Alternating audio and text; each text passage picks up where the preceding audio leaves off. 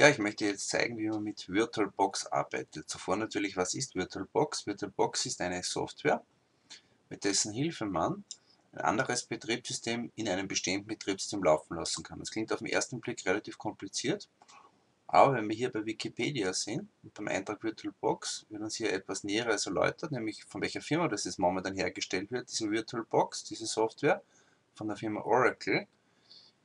Die stellen uns diese Software zur Verfügung. Am besten begeben wir uns dann gleich zur Homepage von VirtualBox, das ist virtualbox.org. Hier haben wir diese Webseite. Wenn man hier dann auf Screenshots geht, bekommt man vielleicht den besten Eindruck, wenn wir hier verschiedene Bilder uns ansehen können. Und vor allem hier für einen Windows-Benutzer ist hier dieses Image, dieses Bild hier besonders äh, einladend.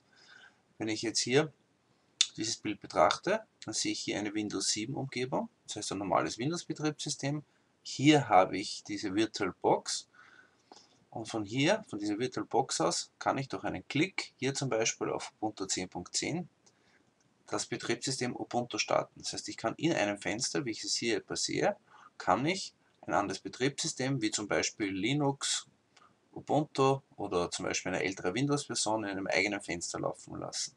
Das hat für mich den großen Vorteil, dass ich dieses Betriebssystem nicht fix auf meinem Computer installieren muss, ich kann mehrere Betriebssysteme, wie hier zum Beispiel angezeigt, Ubuntu, Solaris, Windows XP, Ubuntu 18, kann ich hier auf meinem Computer parallel installiert haben.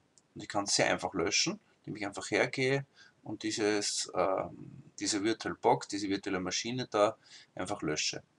Wie ich das jetzt herunterlade, nämlich diese VirtualBox, zeige ich dir jetzt. Du gehst hier bei der Webseite virtualbox.org auf Downloads schaust dann, welches Betriebssystem du gerade verwendest. Wenn du zum Beispiel Windows verwendest, würde es sich empfehlen, hier die Virtual Platform Packages für Windows zu nehmen. Das wäre dann hier, geht dann hierher, braucht eine gewisse Zeit und dann klickt man auf Speichern. Das wird an der entsprechenden Stelle dann, die man sich im ausdruckt, auf der Festplatte gespeichert.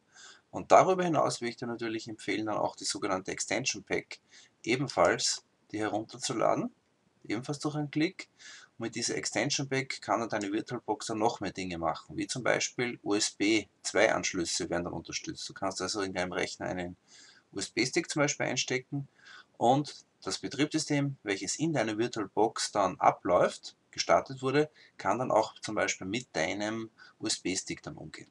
Nachdem ich das heruntergeladen habe, werde ich jetzt gleich dann die VirtualBox dann auch installieren.